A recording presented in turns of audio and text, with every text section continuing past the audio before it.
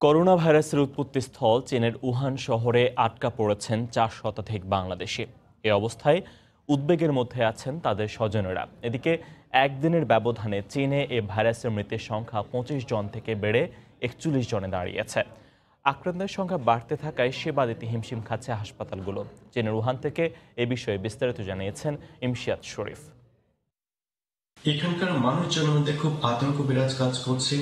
এছাড়াও প্রায় চারশো জনের মতো বাংলাদেশের ছাত্রছাত্রী এই উহান শহরে রয়েছে, যাদের মধ্যে এক ধরনের ভয়ভীতি কাজ করছে।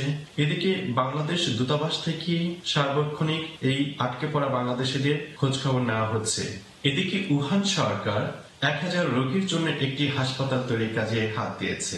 ধারণা করা হচ্ছে সপ্তাহখানিকের মধ্যে এই হাসপাতালটি সম্পন্ন হবে। সরকারিভাবে এখানকার সকল ধরনের যানবাহন বন্ধ রাখা হয়েছে।